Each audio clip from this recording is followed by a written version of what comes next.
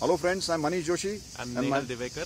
friend Neval Diwekar. We are in India here and we have come here to do the review of the new BMW 310GS which is in the background. So stick on and see the review. Bye bye. Thanks. Thank you. Good morning friends.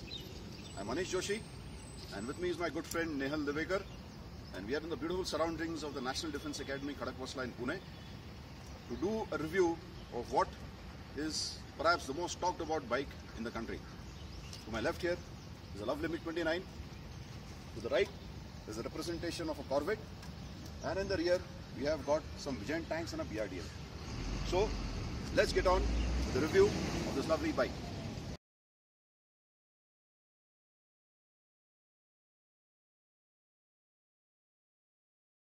Okay, first little intro. This is not a 500 kilometer or even a 1000 or a 5000 kilometer review. It's a full 10,000 kilometer review. I've ridden this bike over every single type of terrain in the country except snow and ice. Second, this is also not going to be a review which is a fanboy review. It is going to be a brutal review. So to all my viewers who do not like one of their favorite brands to be criticized, you're most welcome to stop the video and go to something else you like. But I'll recommend that you stay if you really want to know what this bike is all about. Right. Sometime in 2013 or 14, BMW was looking for an India partner to expand their operations in Asia. And they homed on to TVS. And from that, sometime in 2015 was born the joint venture, thus BMW and TVS.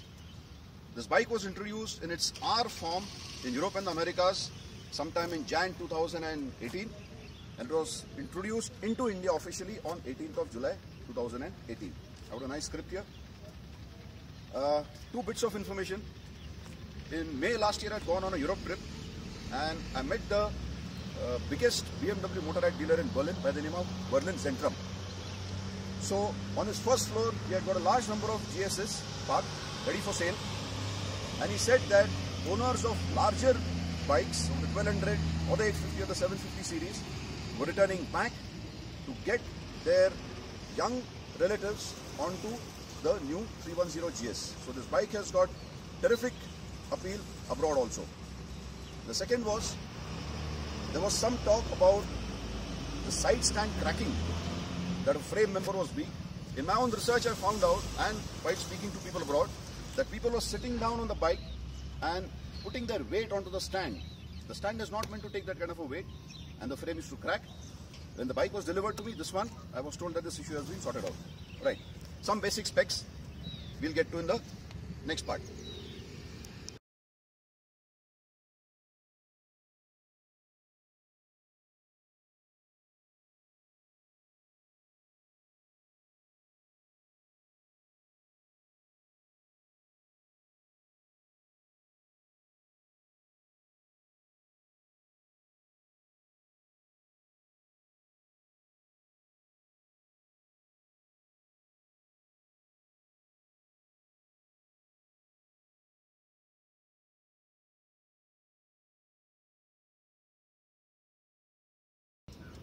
Okay, some basic specs. I'll not go over too many hygiene items.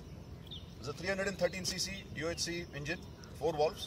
One interesting part of the engine is that, as you can see, the exhaust is from the rear and the intake is from the front. The entire piston or the cylinder block has been turned 180 degrees, which is something very nice which BMW has done. Because of this, the exhaust pipe itself becomes very short, so performance is enhanced. Additionally, they have been able to fit a really long swing arm. So for a bike of this small engine size, it has got a nicely splayed out wheelbase of 14 and 20 mm, 14 20 mm. Ground clearance is 220 mm, good for a bike of this type. Excellent suspension, 41 mm forks in front, upside downs, and uh, spring loaded damper in the rear, 180 mm travel, front and rear both. Wheels 19 in front, 17 in the rear, as befits a soft adventure bike. A word about the tires. The tire rating for this bike is H, H for Hunter, that is 210 kilometers per hour. Stock tires are Metzeler's. If people want, they can shift to cheaper Timsuns also later. The tank capacity is 12 liters, usable is 11 liters. A bit more about that later. Lights NH4 halogen 6555 and incandescent 5 watt bulbs all around. There are two LEDs, one LED for the main brake light and one LED for the license plate. Okay, instrument panel. Now, let's show them the instrument panel and the various mode. This is a very simple LCD instrument panel. As you can see, there are the warning lights here for the high beam, the turn indicator, the fuel gauge warning, fuel warning and the neutral. This is the vertical ram for the fuel gauge. Onto its right is the particular mode setting which now is in odo. This is the odometer. Like I said, it's almost a 10,000 kilometer review. Below that is the speed indicator, that is the speedometer. Underneath is the horizontal ram for the RPM. As you can see, the uh, red band is indicated from 10,000 to 12,000 RPM. Above that is the gear. Here it says first gear, so the bike doesn't move forward. And this is the clock. Now, here I want to show you that the ABS light is flickering. This means that the vehicle ABS has not yet calibrated. Once the vehicle is in motion, the, the it gets calibrated at 5 kilometers per hour and this light will go out. Here there are some engine warning indicators plus this is another warning indicator. So this rounds out the instrument panel. Various modes. So here I am showing you odometer. Here is the trip 1. This is the trip 2. This is the engine temperature. This is the range available at, for this particular fuel in the tank. This is the consumption which presently is 3.4 kilometers for 100, uh, 3.4 liters for 100 kilometers. Bit more about that later. This is the average fuel consumption, which now is obviously zero because the bike is not in motion. This is the speed, the last registered speed. This is the date, and this is for setting up of the date and various things. And back to the odometer. Left hand controls. We'll show them left hand controls. Standard motorcycle controls. You've got a flasher, the high beam and low beam indicator. When the bike is switched on, the low beam acts as a daytime running light. Turn indicator, this is the horn, mirrors, clutch uh, lever and left handlebar. What about the ABS? This is, is a switch, switchable ABS. You can switch it on and off in motion. So when you switch it on in motion, we'll show them there. Here the ABS indicator is blinking because it is switched on, yet to be calibrated. Now I'll switch off the ABS and the light will stay on continuously. Please note, when the light is on continuously, it means that the ABS is not working or rather it has been disabled. When I switch on the ABS, that light will start flashing once again. Right hand controls, standard. You have got the engine kill switch, handlebar, the front brake and the front master cylinder for the hydraulic fluid, the mirrors and the ignition switch. The ignition will not turn on, it will not even spool up if the bike is in gear like it is now and the side stand is down. This is a good active safety feature. Fuel tank is an excellent aluminium aircraft type fuel tank and inside there is a small ramp a small bar you know a small metal bar can can we see that yes here where the pointer is indicating so this acts as an active fuel spillage measure so when the fuel starts reaching this it touches this the pump switches off on its own. So if there is any careless fuel attendant, the bike will not spill over. Quickly, sharply put in and back. Seat width. You can see an excellent broad seat. Here it's about 9 inches. Here it's about 12 inches and the pillion widest is about 10 and a half inches. So you have got 12 inches of broad space. So your rear is well supported on long rides or when you're trying to do off-road and you land out here, you'll not slip off. Tail rack. BMW has given an excellent tail rack here to fit various top cases. Uh, it's very solid, aluminium. I have removed it, it's quite heavy also. Looks very smart, affords some kind of a protection from the rear. So, in the next section, we'll speak about likes, dislikes.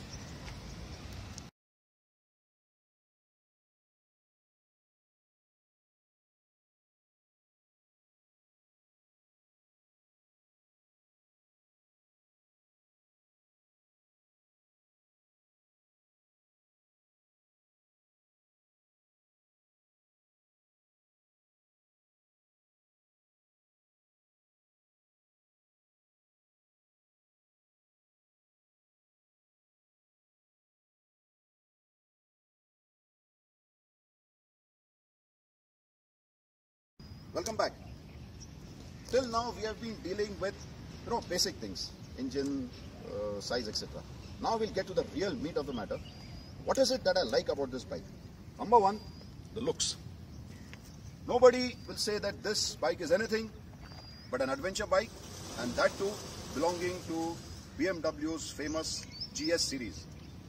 With these forks, the tall stance, that lovely beak with the wicked cut in the lip, the broad seat and the typical large GS fuel tank, this bike speaks about the heritage of BMW's GS series.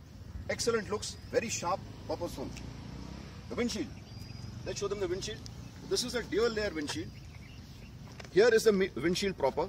Below it is the instrument panels casing. The airflow moves from underneath the windshield and from over the windshield which is aerodynamically tailored. So depending upon your height, if you're a little short, the breeze will go, the wind will go over your helmet. If you're a little taller like me, the wind will come onto your face. But it is a very directional flow. So there is no buffeting at high speeds which normally one sees on standard bikes. Instrument panel, we saw the instrument panel. Its legibility is excellent during the day. During the night, it is legible enough without interfering with the night vision, which is important for night riding. Now, trip 1 and trip 2. Excellent. There are two trip gauges, so you can have a leg of your journey on trip 1 with trip 2 as the complete distance or vice versa. You can, uh, you know, change to that and there is no problem. It's got a nice range gauge. At the last recorded fuel consumption, it will show you the range available. You saw it in the earlier video. So easy trip logging as well as planning to your next fuel stop. Seating position. Let's show them the seating position. Getting the seating position right on a vehicle like this is very difficult. But BMW has managed an excellent job. The relationship between your arms, your hands, arms, shoulders, the angle the spine makes in relation to the shoulders, this angle of the hip, the knee and the feet is perfect. Where this translates to is excellent comfort on long distance rides. I have ridden from Hyderabad to Pune in about 12 hours, 540 kilometers, excellent roads, broken roads, pothole roads. And at the end of that in the evening, I was still fresh enough to go with my wife and kids out for a party. No problem. Superb suspension. Now, the front and the rear both are firm without being hard. So you can be confident of riding this bike in poor terrain, broken terrain without damaging your spine as well as going long distance for 12, 13, 14 hours or ride throughout the day without feeling fatigue. Ride feel. Now, this bike is a small bike, but it feels like a big bike. It is neither too heavy nor too light.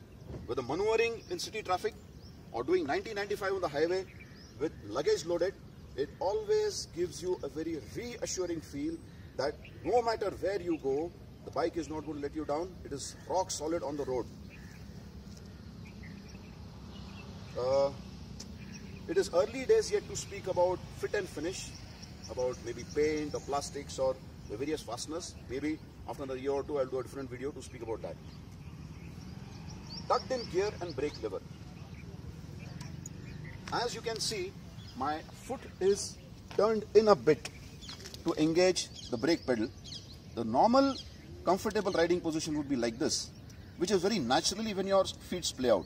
So this arrangement of the brake and the other side the gear lever means that you will not accidentally press any of these controls without you intending to do so, thereby avoiding an accident. The smart thing by BMW, it takes some time to angle your foot inwards, both of them, to operate the controls, but you get used to it. High sixth. In this, sixth comes at 95 kilometers per hour, you are at 6000 RPM. At 85, you're at 5000 RPM. At 65, you're at 4000 RPM. So, sixth is high. It's overdrive at uh, 0.95 or uh, 0.94. It's nice and high. What this means is that your long rides at 95 kilometers per hour, the engine is only doing 6000 RPM, which is just 80% of the red band, which is very good for this bike. In fact, at these speeds and this kind of riding, the bike behaves like a long stroke motor rather than a short stroke motor, what it actually is. Fuel efficiency, it's par for the course. uh, a slightly stressed engine. So it returns about 28 kilometers per liter in city traffic. On highways between 32 to 34 kilometers per liter, which is not bad. Attachment points for straps and bungee cords. This is a soft adventure bike. So people will fit luggage onto it, a lot of straps, bungee cords. So there is no dearth of places to attach bungee cords and straps. Here I've got the subframe for the rear footrest. This performs a dual function. It prevents your, the pillion's foot from getting in and snagging the suspension of the tire, as well as provides a nice attachment area for bungee cords. This lug out here is specially been retained for attachment of straps oblique bungee cords. Plus, you have got the large luggage rack with its numerous apertures and fitment points. So, fitting luggage on this bike with straps and bungee cords is a cinch. Uh, observant viewers would have seen that I've fitted a Zana International side uh, saddlebag stay. I will review this later on once I've had more experience about it in a different video. Now, there is a detailed user manual and space for it. See, professional companies like BMW, when they make such bikes, they use a lot of brains. I can see there's a user manual here. It's tucked in very neatly into its own space. You can fit, put in maybe your insurance papers or a copy of registration card. Underneath, everything is tucked away nice and properly. There are no loose ends. These are the straps for my Xeon tank bag. I'll review that later. So the main, the battery, the connectors. These are connectors for the fuel injection pump. Some fuses here. Uh, and this is the toolkit. So everything, all wires have been neatly put out of any kind of harm's way. So when you open and close the seat, there is no problem at all. Okay. So in the next section, we'll speak about this legs. ये थोड़ा लंबा हो गया होगा क्या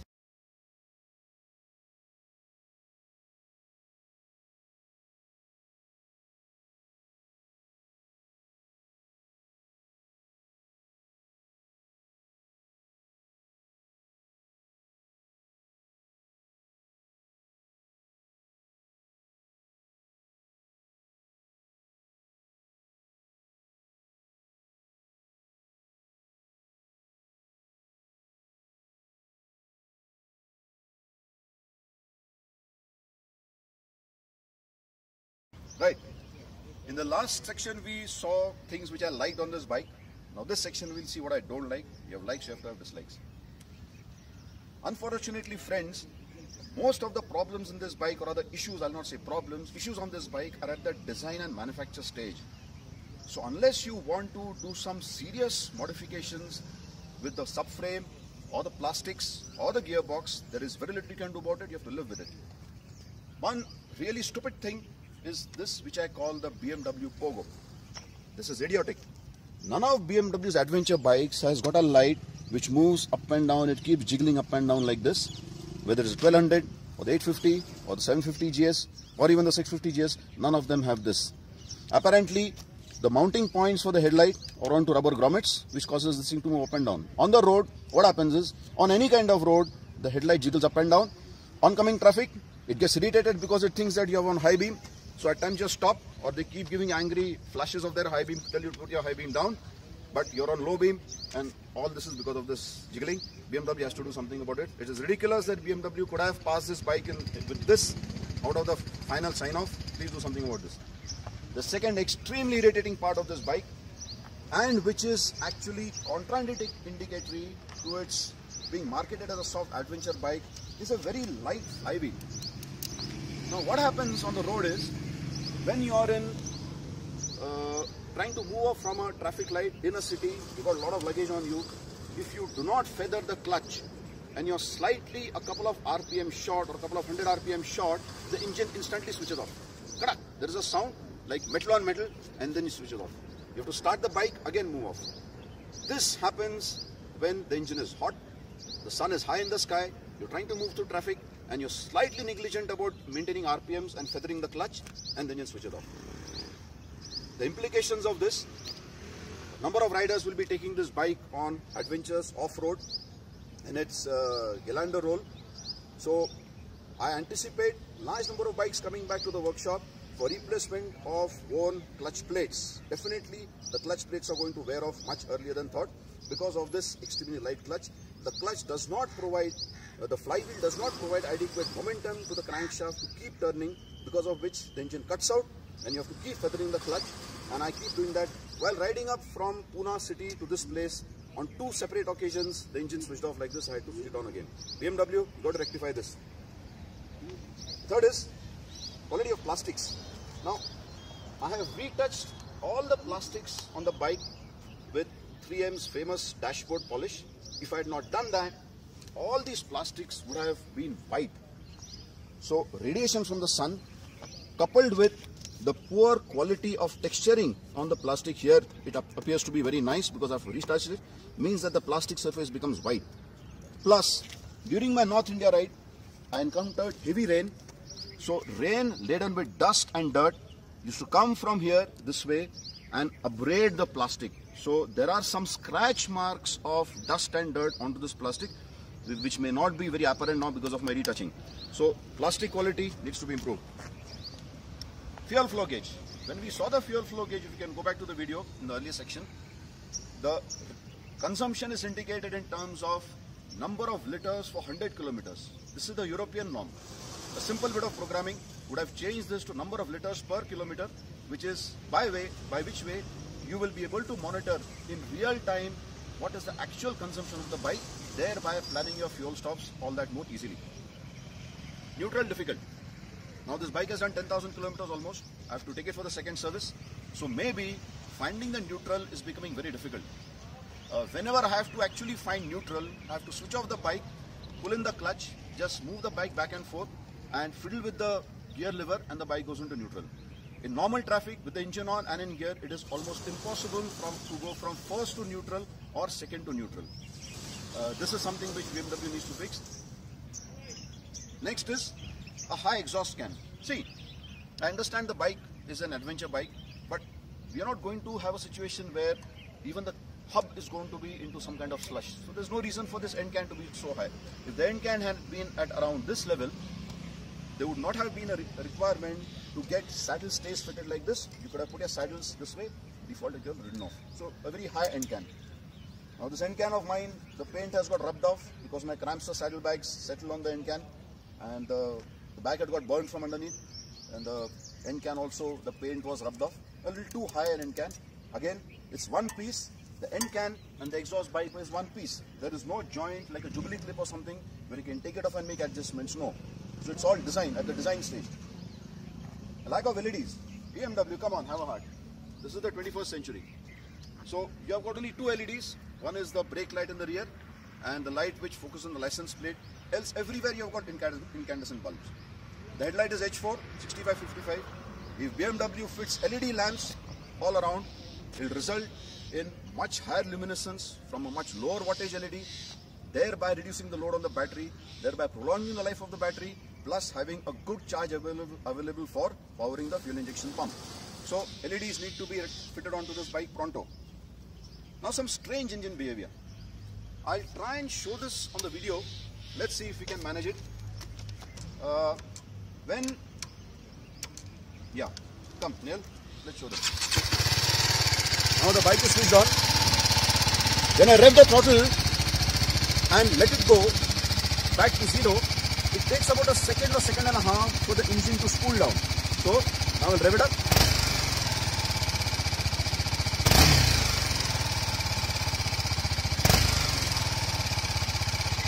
Okay. I don't know if you can uh, make that out later on. Maybe you can try it on a bike. But what this means is that in every gear, when you pull in the clutch, you cut the throttle to zero. You pull in the clutch to change gears. The throttle stays at the last setting for about a second or two. So you have to wait for the RPMs to wind down, for the cones to clutch and declutch, and to intermesh and synchronize, and the gear change to occur. Now, this is in complete contrast to what you want from an adventure bike wherein you would be climbing slopes, you'd be descending, uh, you'd be climbing inclines, descending slopes, and you want very, very deliberate control over the clutch and the gearbox. Plus, you might want to change gears fast or slow, which comes to the second strange gearbox behavior. Very strangely, in spite of this odd issue, the gearbox prefers to change very fast. So the bike wants you to change from first to sixth very fast.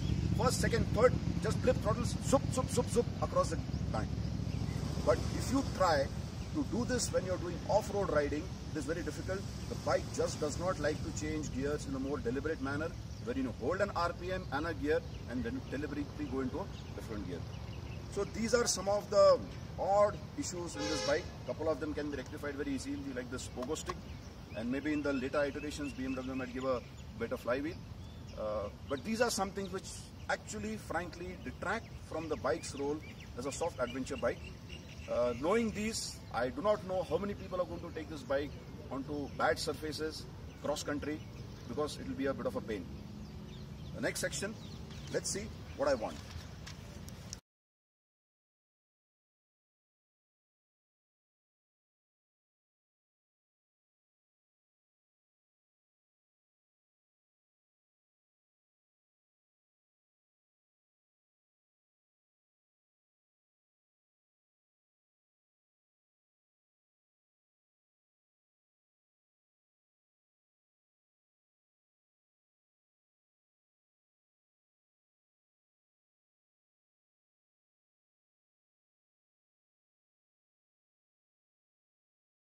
Right, welcome back.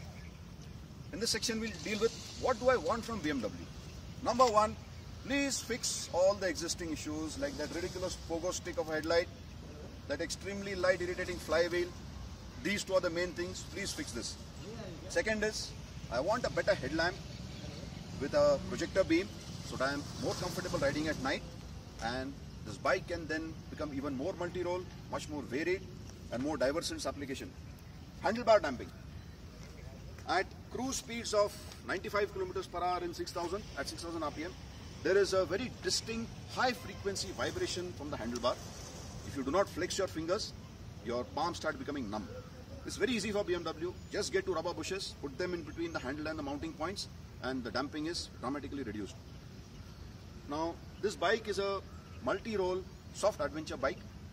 The rear suspension is adjustable for preload.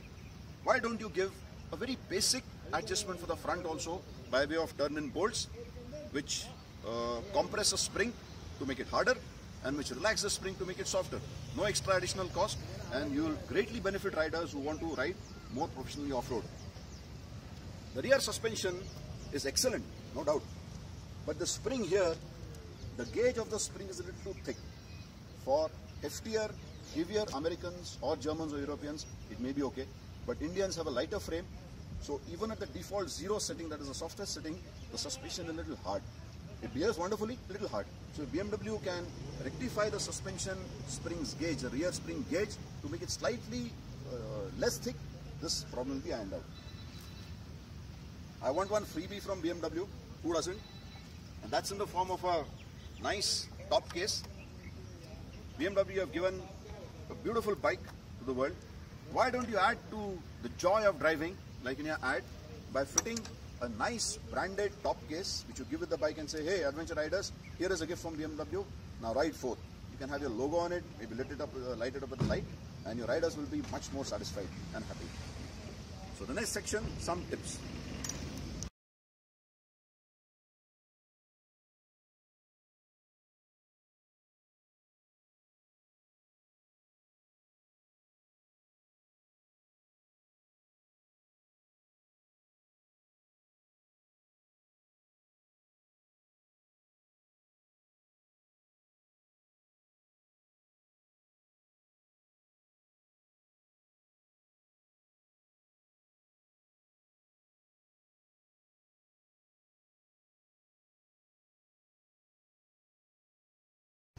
Welcome back. In this section, I'll give certain tips about this bike. See, come Neil, let's show them the plastics. As you can see, during running in, there are a large number of complexly shaped plastic parts. This is the right hand side fairing for the fuel tank. This is fitted to the front beak. From underneath it's fitted to the side fairing, then onto this particular logo. At places, the fasteners fit plastic parts to one another. At places, it is fitted to the frame. Now what happens is, when you ride this bike initially, you feel it's going to tear itself apart because of the vibrations. This is just the various plastic parts meshing in, like what we call bedding in of mortars in the army when I was in it earlier. So ride this, my recommendation to you is chalk out a piece of road about 50 kilometers in length, 30 kilometers in length, put two markers on either end. Ride this bike at varying speed and RPM combinations. So say 40 kilometers at 4000 RPM, 50 at 5000 RPM, go up and down and keep the bike steady at that speed. Let it vibrate as much as it can at that particular speed and then take it up and down beyond the RPM band and the speed band. So once you go for your 1000 kilometers first service and oil change and you get the bike back, you'll find that these vibrations have disappeared dramatically. If you don't do this cognizantly to let these plastic parts mesh in with each other, you will still have some tertiary vibrations from various parts. So this is for running in. Now, a warning. It's a bike of the 21st century. It's got an ECU, fuel injection pump, and it runs on something called a CAN bus. That's a common area network bus. What that means is that the wires not only carry power with them, they also carry data like your USB cable which you connect from the phone to the laptop. So any kind of cutting of wire or crimping of wire, crimping of wire is, this is the wire on which power is required, this is the master wire, you put a small metal piece, you got a crimper and you crimp the metal onto the main wire, so you start drawing power from the different wire. Any of these kind of things, there is a date time stamp which is logged in the memory of the ECU. So suppose today I cut some wire here near the tail light, that particular wire, when you take this bike for servicing, it is connected to the BMW diagnostic software from a wire inside the connector to the laptop. And he fires up the software, it'll show him exactly that on so and so date, at so and so time, this particular wire was cut. What are the implications? Very serious. At one fell swoop, your warranty is voided. Because BMW, in its contract, has said that no unauthorized modifications can be done on the bike. It will presume that you have tried to modify the bike in an incorrect manner and therefore your warranty gets void. So all those of you who want to fit in some kind of extra LED lights or halogen bulbs or horns etc.